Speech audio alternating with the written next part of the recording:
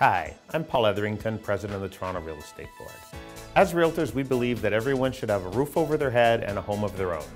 But sometimes it doesn't work out that way. That's why TREB members donated $485,000 in the past year to support shelter-based charities across the GTA. Here's one example of why we do it. The Red Door is the emergency room for families experiencing homelessness.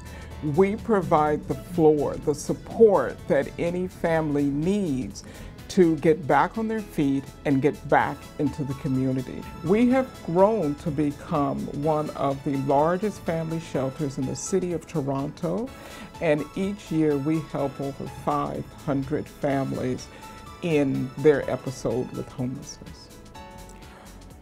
One of the stories that has touched me very deeply is one of a woman who came to Canada fleeing domestic violence in India. And she, when she arrived at Pearson, she was sent to the Red Door. And I know from speaking with her that Red Door made all the difference in her life. We provided her with the opportunity to end the abuse, the abuse that she had suffered and to reestablish herself in Canada with a new life.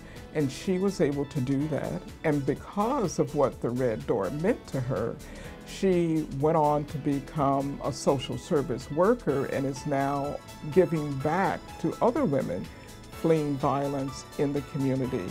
On behalf of the Red Door, I would like TREB members and the Realtors Care Foundation to know that you are the key that opens the door to help and hope.